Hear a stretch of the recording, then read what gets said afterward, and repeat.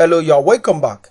So we want to continue with the design of our main interface. So you come to user, the first menu item here, you right click, you edit text and change the text to add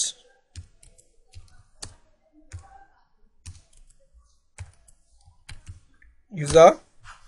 Then the second one, click on it, edit text, you click on search user. Third one. Right click edit text. Delete.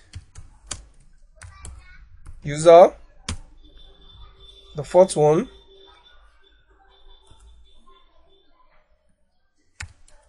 Update user. Fifth one.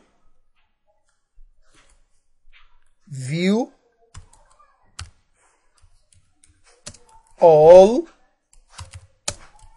users. And the last one that should be exit.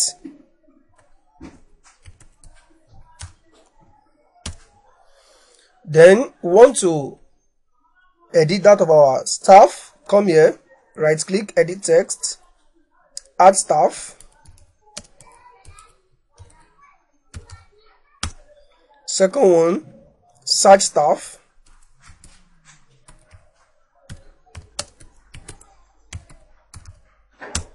third one. Delete stuff.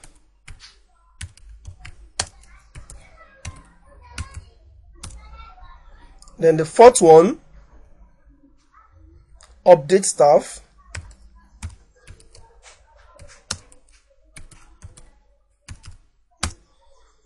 Then the last one that should be view all staff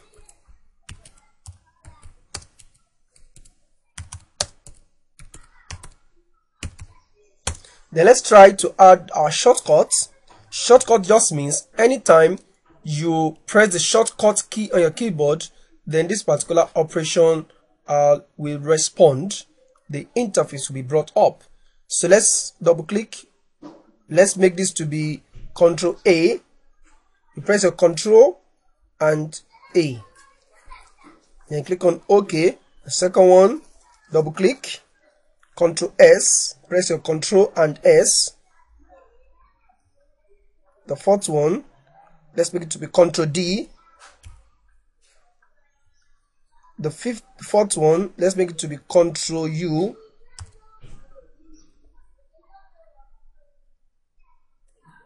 That is to be control v.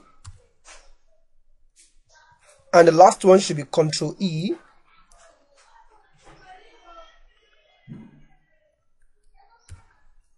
and i'm okay with that let's add a shortcut under the staff the first let's use control alt for this double click Control Alt A. Double click. Control Alt S. The next one. Control Alt D. The next one. Control Alt U. The next one which is the last one control alt v so i'm done with that so i'm done with designing my menu bar now the next thing i want to do is to bring up my split pane on this particular interface in order to split it into two different column sections. So you come to the palettes you go to split pane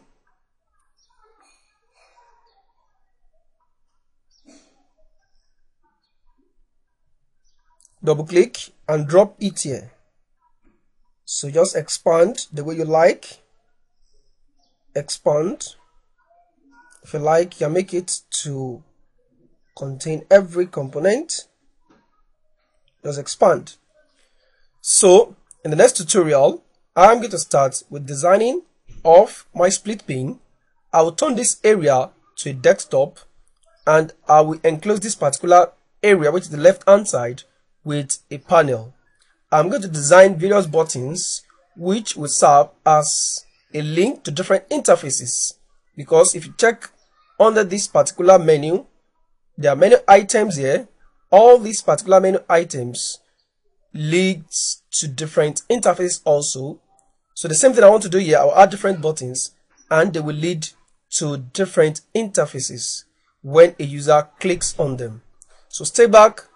I'm going to meet you in the next class. Bye